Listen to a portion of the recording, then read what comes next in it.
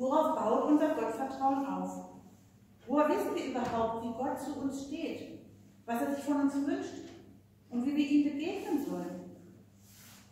Wir wissen es durch sein Wort. Gottes Wort, die Bibel, erzählt uns immer wieder, wie Gott zu uns steht.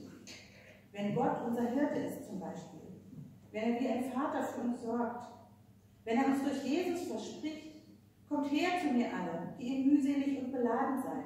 Ich will euch erquicken. Dann dürfen wir uns getröstet und gehalten fühlen. Gottes Wort, Geschichten direkt aus dem Leben, in denen Jesus Menschen heilt und sie voller Liebe ansieht.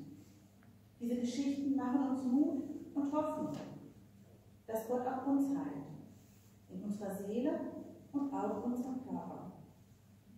Gottes Wort ist wie ein Wegweiser, ein Leuchtturm, ein Stern in der Dunkelheit. Gottes Wort hilft uns, niemals aufzugeben und in ihm Trost und Heil zu finden.